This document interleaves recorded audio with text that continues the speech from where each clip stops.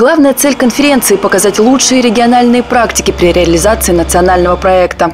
Ну и, конечно, обменяться ценным опытом внедрения современных технологий. Курская область в качестве места для проведения конференции была выбрана не случайно. Курская область по результатам прошлого года была лидером по реализации национального проекта и работает с опережением, и в этом году работает с опережением.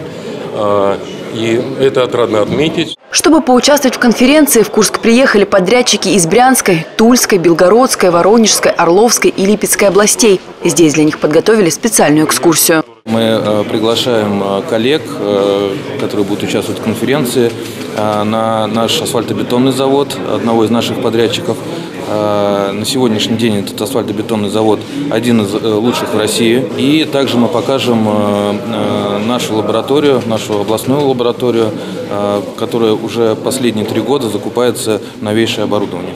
Поприветствовать гостей приехал и губернатор Роман Старовойт. По его мнению, Курской области есть чем поделиться со своими коллегами в плане дорожного строительства. Ксения Дегтярева, Сергей Малеев. События дня.